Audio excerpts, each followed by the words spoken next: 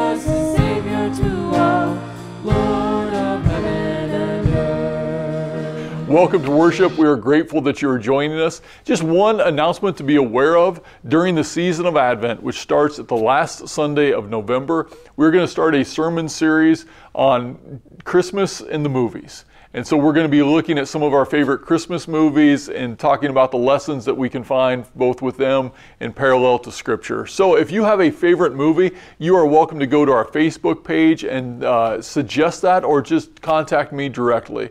Again, welcome to worship. We're grateful that you're joining us. Let's start with a word of prayer. Good and gracious God, we give you thanks on this glorious day for the opportunity to gather. We pray that your blessing would fall upon all those who are who are hearing your word this day. Remind us again and again of your sacrifice, of your love, and of your forgiveness, and help us to demonstrate these things in all that we do and all that we say. In Jesus' name we pray. Amen. One, two, three.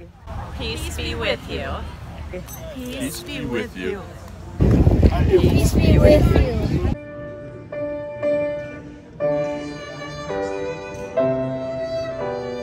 You.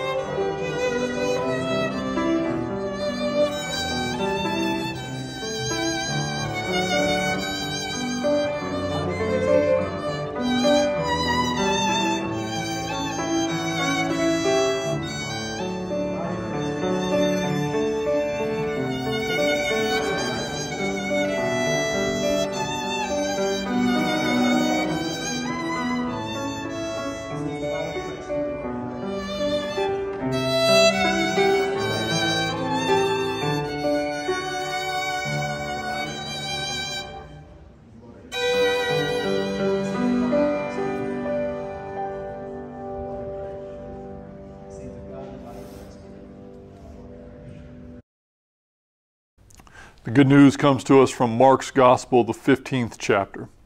When it was noon, darkness came over the whole land until three in the afternoon.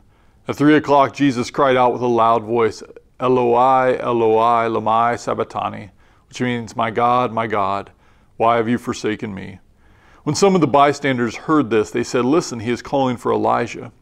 Someone ran, filled a sponge with sour wine, put it on a stick, and gave it to him to drink, saying, Wait, let us see whether Elijah will come to take him down.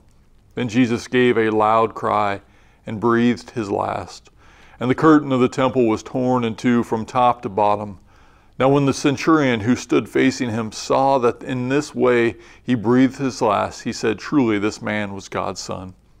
There was also women looking on from a distance. Among them were Mary Magdalene and Mary, the mother of James, the younger, and of Joseph and Salome. They used to follow him and provided for him when he was in Galilee. And there were many other women who had come with him to Jerusalem. This is the word of the Lord. Thanks be to God. It really should be the most sacred holy place in all of the world. For 1600 years, many church bodies have said this is the actual place of the crucifixion. This is the actual hill where Jesus died. This is Golgotha right here. And there's a, a church that's built around it, also where the tomb uh, is supposed to be. There's a church called the Church of the Holy Sepulchre. And like I said, it should be the most sacred holy place in all the world. And yet it is just a holy mess. It's pretty awful. It's a disaster. Now, admittedly, when I visited there 25 years ago, I was on a college trip. We did it the second day we were there. There was some jet lag. We'd been traveling around Jerusalem by foot all day long. It was amazing, but it was also weird. I was exhausted. I walked in there exhausted, ready for just a rest. So I, I went in with a bad attitude, but even outside of that, the place is just a disaster. Uh, you walk in and it was full of, of tourists when we first got there. I mean, just elbow to elbow with tourists. Every single group had their own guide. They were all trying to shout over each other. They had these giant, you know, high ceilings, and so everything was echoing around. It was just this cacophony. And then you go up and they take you first to Golgotha. So there you are. You're in the spot where at least some churches have said for 600 years that this is the spot where Jesus died. And it was like a, a toddler had a glue stick and some glitter, right? It was just this garish, gaudy mess. I mean, any surface they could find, they just slapped gold on it. And if otherwise they they can cover it in a window first and then slap gold around and then put a jewel right in the middle. I mean, it was it was there was no sense to it. There was no pattern. It was just loud and bright and shiny and awful. There was nothing that felt sacred or holy about it at all. And then they take us to the tomb. And at least the hill of Golgotha, at least that place, you could argue that that really was where Jesus' crucifixion was. There's, there was a case you could make for that. Not super likely, but there's a case you could make for that. The tomb that they take you to, there is no way that this is the tomb.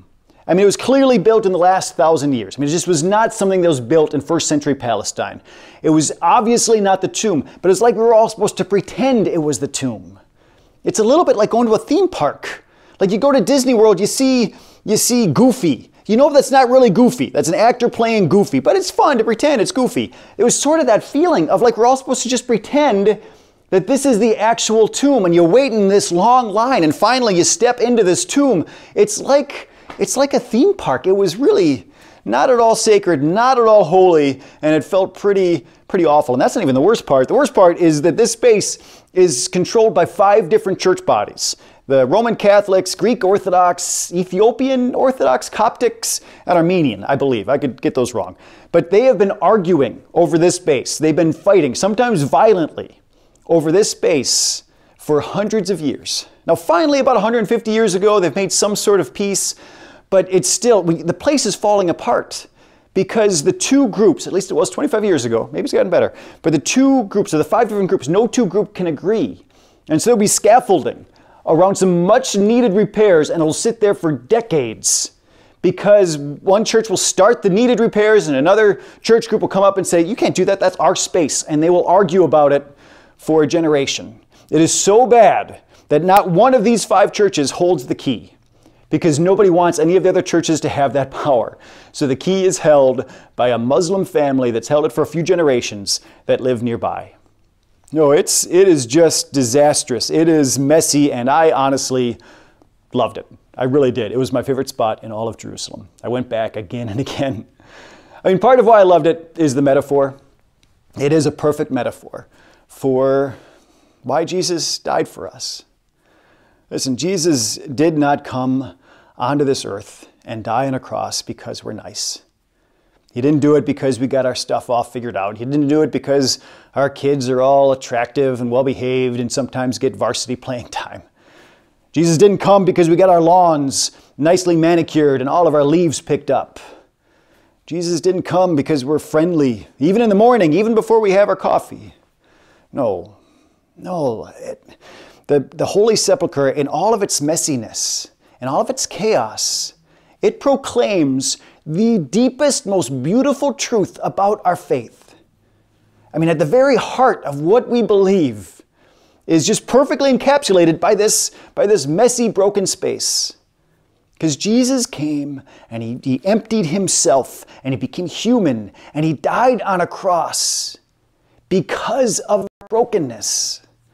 I mean, those monks and priests at the Holy Sepulchre, they're not awful people. They're not wicked. They're not evil. This isn't, you know, war crimes. This isn't murder. This is just the ordinary human frailty. It's, it's ordinary failings. It's everyday stuff. The passive aggressive things when your neighbor just kind of annoys you and so you annoy the neighbor back and it just kind of gets not awful, just unpleasant.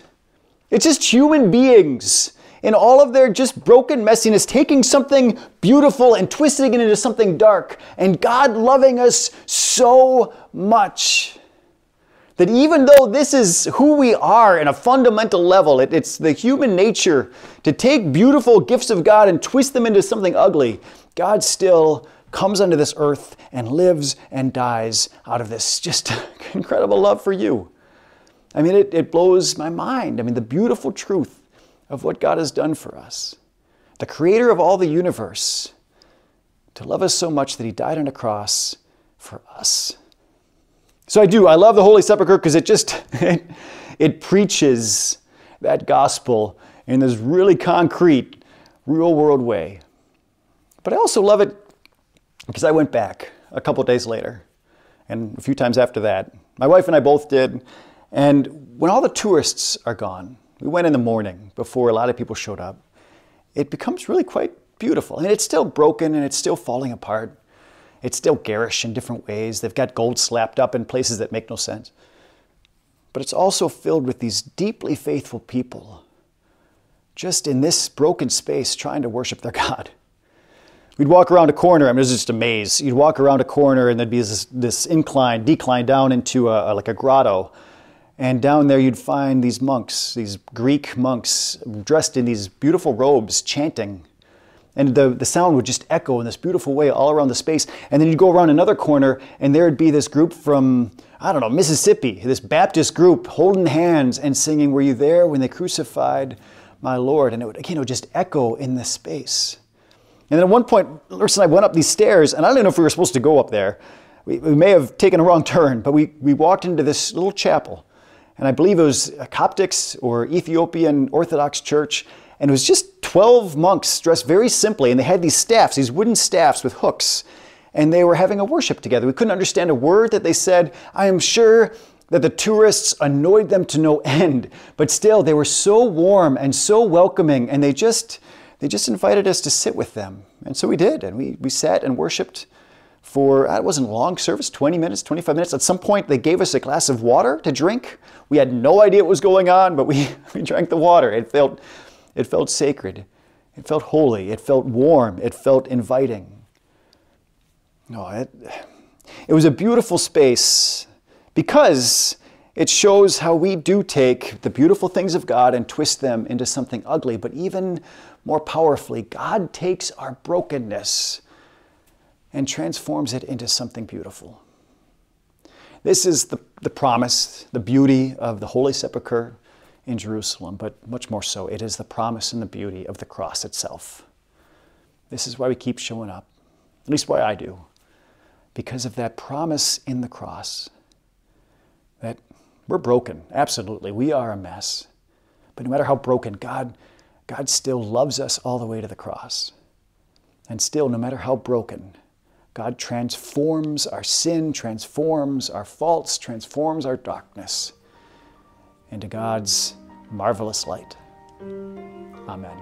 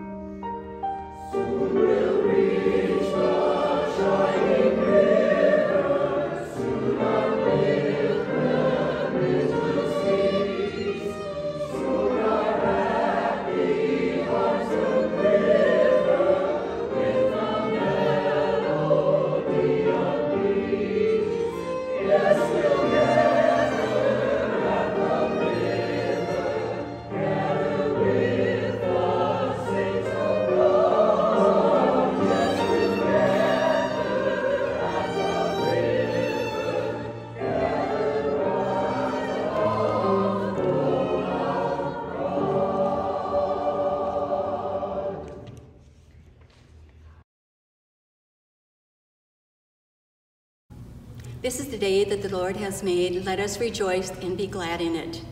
We would like to thank everyone for the financial support you have given to United Lutheran Church here in Red Wing. The options in giving are to text and go on the mail it on the, uh, to the church or go to our website. The fourth choice is come and worship with us. We have a wonderful staff here, a great congregation with lots of activities. So come and be a part of our faith journey. Blessings to you. I believe in God, the Father Almighty, creator of heaven and earth. I believe in Jesus Christ, God's only Son, our Lord, who was conceived by the Holy Spirit, born of the Virgin Mary, and suffered under Pontius Pilate. He was crucified, died, and was buried. He descended to the dead. On the third day he rose again. He ascended into heaven. He is seated at the right hand of the Father and will come to judge the living and the dead. I believe in the Holy Spirit, the Holy Catholic Church, the communion of saints, the forgiveness of sins, the resurrection of the body, and the life everlasting. Amen. Almighty and ever living God, we give you thanks for the veterans who have served our country and defended the values that we hold dear.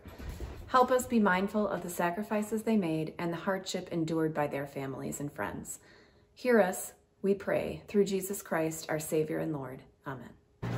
We pray for our teachers, administrators, and students that they find joy in learning and teaching. Lord, in your mercy, hear our prayers. Holy and gracious God, we give you thanks for the hands that prepared these quilts, and we ask for your blessing upon those who will receive them. We ask that you warm their bodies, of course, but also that their spirits may be warmed by the hope and promise of your presence and love. Lord, in your mercy, hear our prayer. We pray for the natural wonders of your creation, restore damages, forests, waterways, and natural habitats. Lead us to be good stewards of the earth. Lord, in your mercy, hear our prayers. Lord, we pray for these members of our church who are experiencing health concerns this week. We pray for Dorothy Gentry, Peggy Olson, Mary Stenslin, and Sylvester Roddering. Please bless them with health and with strength. Lord, in your mercy, hear our prayer. Our Father, who art in heaven, hallowed be thy name. Thy kingdom come, thy will be done, on earth as it is in heaven. Give us this day our daily bread, and forgive us our trespasses, as we forgive those who have trespassed against us. Lead us not into temptation, but deliver us from evil. For thine is the kingdom, the power, and the glory, forever and ever. Amen. The peace of God be in your hearts. The grace of God be in your words. The love of God be in your hands. The joy of God be in your soul and in the song that your life sings.